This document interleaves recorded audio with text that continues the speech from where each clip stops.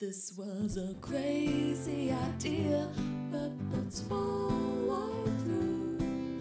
It's gonna get rough, but there's little we can do.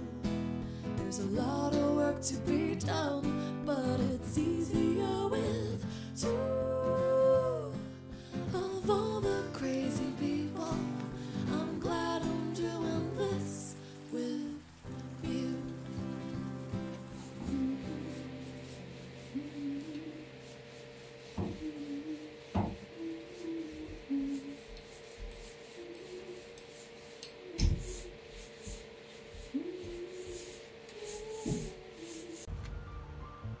Lesson learned. Close our shit before we paint the floors, not after. Step one. Step one, make sure everything's actually closed. Alright. Yes! Finally! Fucking finally! Yes. I mean, yay, it's done. We could, like, tomorrow start doing step four.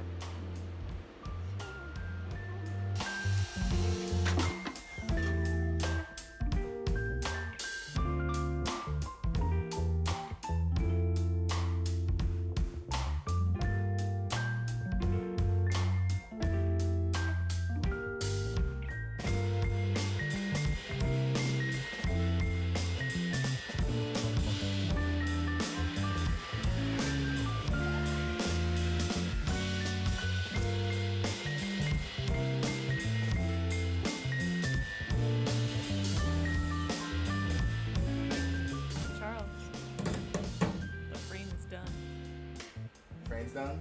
Floor joists are done and adhesive is set overnight.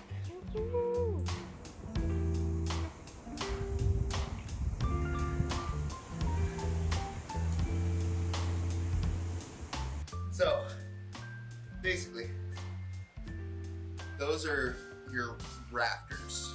What would normally be weight bearing in your floor. We don't need it to be weight bearing, we just need it to be a space for us to put insulation. So these sheets right here are one side reflective, one side standard, just engineered insulation. These will get cut down, and laid in between these. About every, I think this is a four foot, so every four feet coming forward, we'll have a crossbar Oh, on that same level. So we haven't moved up from this one inch level. gotcha. So once that's all done and we have it all in, our OBS goes on top of it. It slides in, these boards all slide together. So we glue glue them together and glue them before. And that's what the big big tubes of sub four insulate uh, adhesive. Gotcha. There will not be any metal going from the bottom of the bus to the floor. The only thing that we have are these insulated tack screws that shouldn't conduct too bad. And there's adhesive between them and the floor, so any any uh, condensation that tries to make its way towards us can go elsewhere.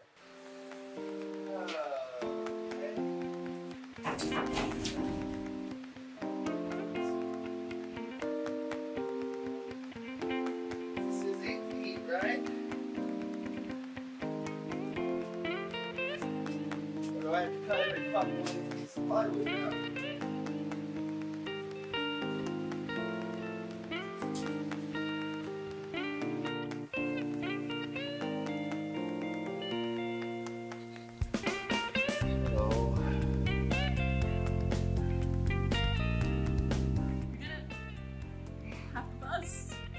Halfway done with the floor. There's floor.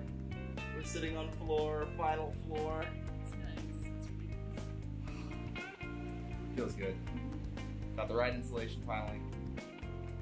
Did all the cuts correctly the first time somehow. And that's it for cuts.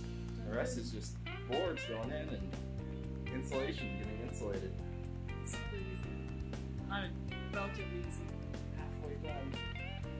Halfway done. Oh, Good, good.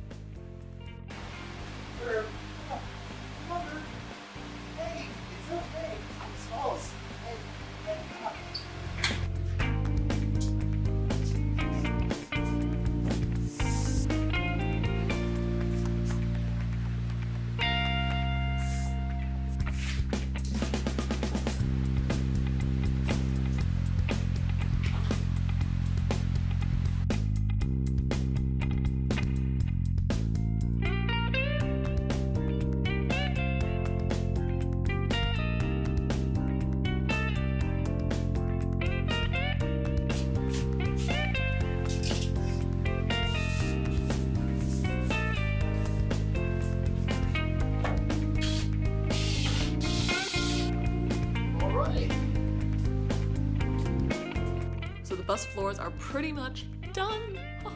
And, and the walls too. We have a few more bits and bobs on the front that we have to get covered, but we're trying not to make multiple runs to Home Depot if we can help it, being responsible quarantine creatures and stuff. Charles is also waiting on a delivery for all the wiring stuff he ordered because he's wiring the entire bus from the ground up because the previous wiring is kind of a mad rat's nest. It doesn't make any sense. Yes. Also, we're rolling out some merch soon, so keep your eye for that. And there's particular things that you would really like to have. I can probably make it, so just let us know on Instagram, Facebook, and all that good stuff. Thanks for watching this week's episode of Battlestar Skoolie. Come hang out again with us next Monday. Bye!